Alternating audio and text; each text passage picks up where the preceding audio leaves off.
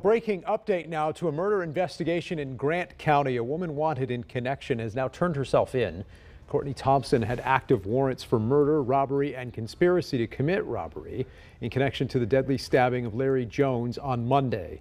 Two people were arrested yesterday for the stabbing. Michael Davis and James Watson are being held without bond in the Grant County Jail.